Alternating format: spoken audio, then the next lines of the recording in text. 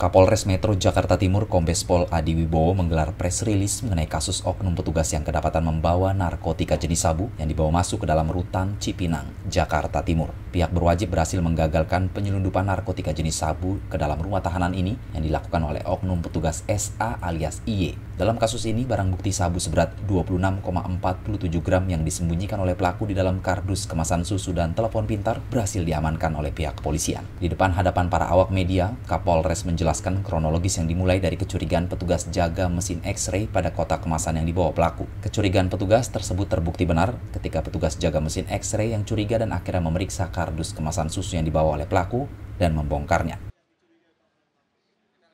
Kita dihubungi, kemudian kita langsung merapat ke rutan dan kita amankan salah satu sipir PNS rutan nah, dengan inisial SA, ya, dengan inisial SA Kemudian di situ kita bisa mengamankan sejumlah barang bukti yaitu e, narkoba dengan berat 26,4 gram.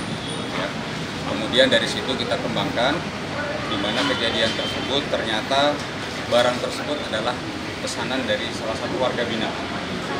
Salah satu warga binaan dengan inisial K, di mana yang bersangkutan ini adalah tertangkap dulunya juga dalam kasus narkoba membawa barang bukti sejumlah 25 gram dengan putusan 14 eh, tahun penjara. Jakarta, Tim Liputan Tribrata TV, Salam Tribrata.